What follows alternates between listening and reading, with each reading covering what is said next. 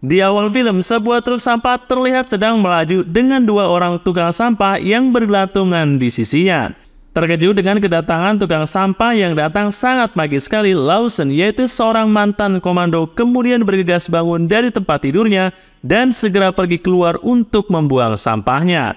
Ketika dia sampai di truk sampah, kedua tukang sampah itu mengakui jika sebenarnya mereka ini adalah sepasang pembunuh bayarin yang sangat terlatih bernama Cuk dan juga Dias. Saat itu juga mereka mengeluarkan senjatanya dan mulai menembak sampai Lawson terbunuh.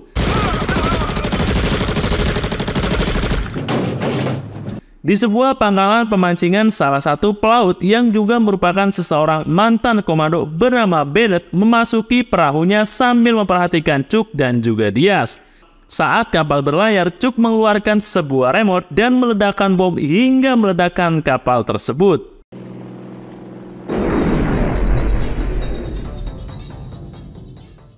Di tempat lain, mantan kolonel bernama John Metrick yang juga merupakan seseorang pensiunan komando AS menjalani rutinitas hariannya dengan menebang kayu dan dia hidup bersama anaknya bernama Jenny jauh dari pemukiman penduduk. Why don't they just call him Girl George?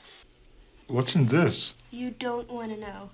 Ketika ayah dan anak ini sedang sarapan, John tiba-tiba mendengar helikopter mendekat. Kemudian, Mayor Jenderal Franklin Kirby keluar dari helikopter dan memberitahu anak buahnya bernama Jackson dan Harris untuk mengamankan daerah tersebut. John dan Kirby kemudian mengadakan pertemuan di mana Kirby memberitahu kepadanya bahwa seseorang telah membunuh mantan pasukan komando yang merupakan bagian dari unit John. Jason dan Harris ditugaskan untuk menjaga John dan putrinya, sementara Kirby pergi untuk menyelidiki siapa yang berada di balik serangan tersebut. Saat sang mayor jenderal terbang, John kemudian merasakan adanya bahaya dan segera meraih putrinya untuk menghindar saat dia muncul dari semak-semak dan menembakkan senjatanya. Pembunuh itu membunuh Harris dan langsung melukai Jackson. John menyuruh Jenny untuk bersembunyi di kamarnya sebelum mengambil senjatanya di gudang. Ketika dia kembali ke rumah, dia menemukan bahwa Jackson sudah mati dan Jenny telah diculik. Dia memberitahu John bahwa orang-orangnya memiliki Jenny dan John harus bekerja sama dengannya. Jika dia ingin bertemu dengan putrinya lagi. Tapi John tidak setuju. Dia membunuh Diaz dan segera mulai mengejar anak buahnya. Dia mendorong sebuah mobil dari lereng bukit dan menggunakan momentumnya untuk mulai mengejar mereka. Rencana tersebut tidak berjalan dengan baik bagi John dan dia akhirnya tertangkap. Ever since you had me thrown out of your unit, I've waited to pay you back. Dalam perkembangan yang mengejutkan, Bennett pria yang diduga tewas dalam ledakan kapal mengungkapkan dirinya kepada John sebagai salah satu musuhnya. Bennett mengatakan kepada John bahwa semua ini adalah pembalasan dendam karena John telah membuatnya diusir dari unit komando. Dia kemudian menyuntikkan John dengan obat penenang. Kemudian John terbangun di sebuah ruangan di atas meja dan dikelilingi oleh anak buah Bennett. Dia kemudian bertemu dengan Arius yaitu seorang diktator Amerika Latin yang diasingkan yang ingin John membunuh presiden baru Papir di sebuah negara fiktif agar dia bisa berkuasa lagi.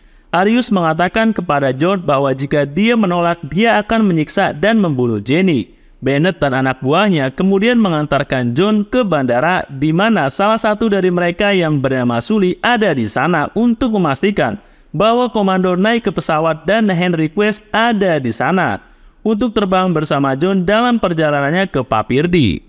Bennett memberitahu John bahwa jika salah satu dari anak buahnya tidak memberikan kabar terbaru, dia akan membunuh Jenny. Jadi, John tampaknya mematuhi instruksi Bennett dan naik ke pesawat bersama Henry Quest dan juga Sully.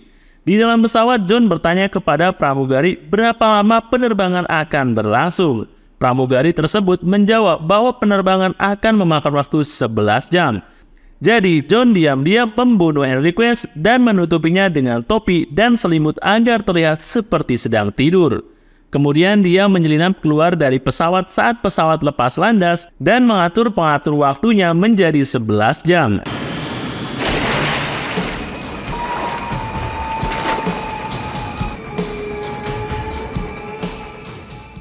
Sully yang tidak menyadari pelarian John dari pesawat menelpon Arius dan memberitahunya bahwa komando mematuhi instruksi mereka. John kemudian mengikuti seseorang wanita bernama Cindy ke mobilnya dan menculiknya meyakinkannya untuk mengikuti mobil Sully. Mereka pun mengikutinya ke sebuah komplek berbelanjaan di mana menjelaskan situasinya kepada Cindy. Cindy terlihat seperti mempercayainya, namun saat John melepaskannya, Cindy melaporkan John ke petugas keamanan mall dan menyebutnya sebagai penculik gila. Satpam kemudian memanggil bantuan dan sekelompok penjaga dengan cepat menghadapi John. Sully memperhatikan Cindy dan ketika dia mendekatinya, dia melihat komando yang sedang bertempur dengan para penjaga keamanan. Dia segera berlari ke telepon umum, namun John menghentikannya untuk menelpon Arius dengan merobek seluruh bilik telepon dari dinding. Para penjaga keamanan kemudian mengepung John membiarkan Sully melarikan diri. Namun John melawan mereka saat Sully mencapai lift.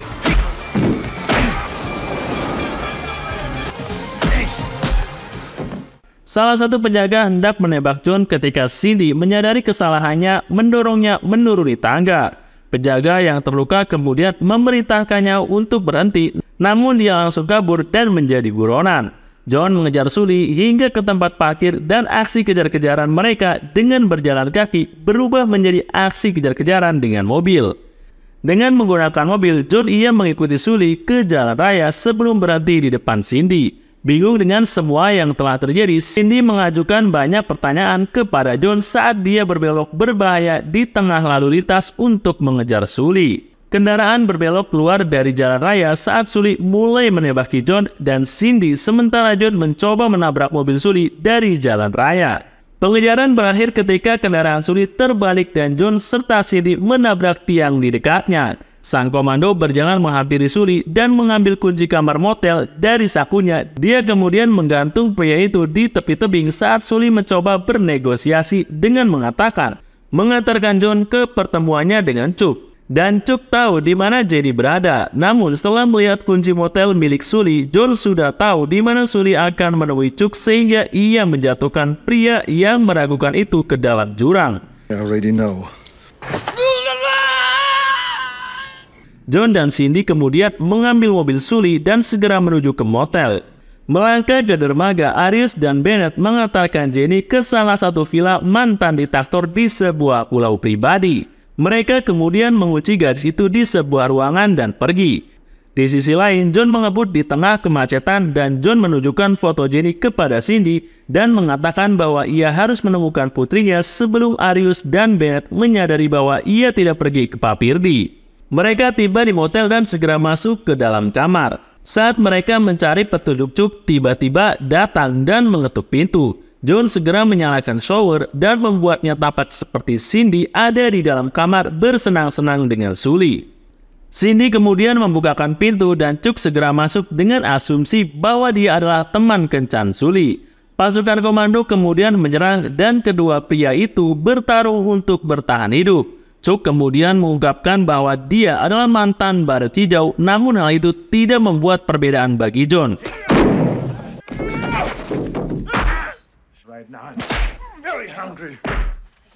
Komando kemudian membunuhnya sebelum pergi keluar untuk menggeledah mobilnya.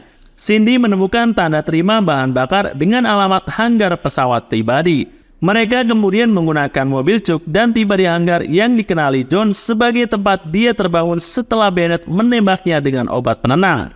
John kemudian menerobos masuk melalui atap dan menemukan seluruh operasi tentara pemberontak Arius yang sedang menyelundupkan senjata. Dia memasuki ruangan kontrol dan melumpuhkan salah satu pemberontak sebelum membuka jendela untuk Cindy. Mereka mengetahui bahwa Jenny ditahan di sebuah pulau dan ada pesawat amfibi dan San Pedro yang bisa mereka gunakan untuk pergi ke sana. Sebelum naik pesawat, John memutuskan untuk mereka harus berbelanja terlebih dahulu. Mereka masuk ke sebuah toko senjata dan mencari semuanya mulai dari senjata hingga bahan peledak. Cindy membuat sebagian besar senjata ke mobil tetapi John ditangkap sebelum dia bisa bergabung dengannya. Dia mengikuti kendaraan polisi yang ditumpangi John dan menggunakan peluncur roket untuk membebaskannya. Jesus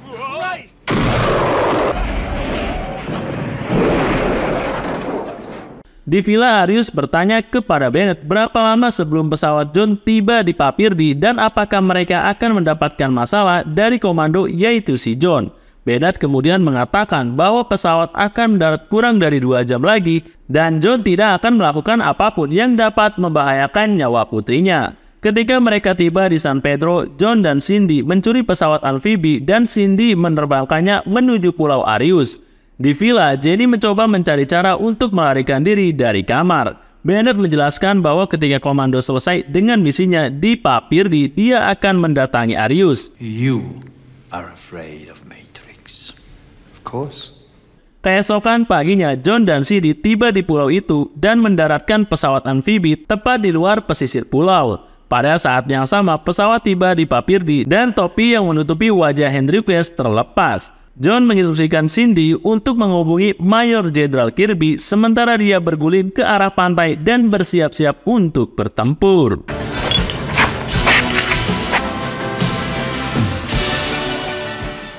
Dia berjalan menuju villa dan mengawati pasukan pribadi Arius. Kemudian dia memasang sejumlah bahan peledak di seluruh markas memberontak sebelum membunuh beberapa tentara secara diam-diam. Di bandara di Papirdi, anak buah Bennett menunggu John dan Henry Quest turun dari pesawat. Namun mereka melihat sosok mayat dibawa dengan tandu. Mereka memeriksa mayat tersebut dan menemukan bahwa itu adalah Henry Quest. Mereka pun segera memanggil Arius dan diktator yang haus kekuasaan ini memerintahkan Bennett untuk membunuh Jenny. Saat Bennett mendekati kamar Jenny, John memicu bahan peledak dan perang pun dimulai.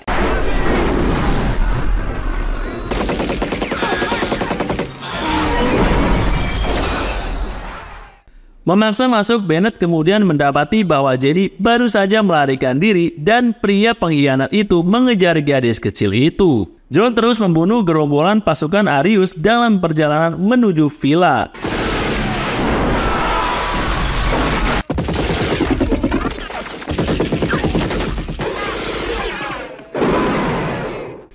Cindy akhirnya dapat menghubungi Jenderal Kirby melalui radio dan sang jenderal menerima pesannya selama pertempuran komando mendapatkan senapan mesin M60 dan membantai lebih banyak pasukan Arius.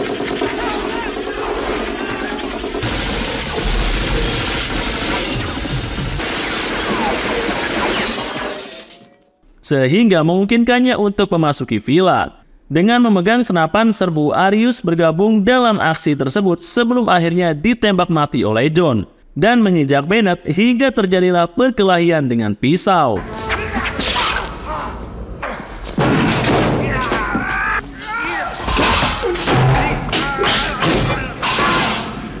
Ini adalah perjuangan yang sulit, tapi John akhirnya menaklukkan musuhnya.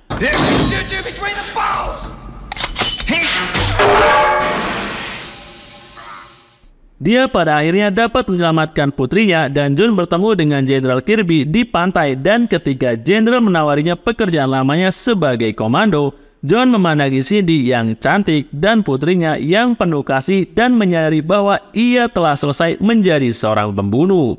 Dan setelah itu, film pun berakhir.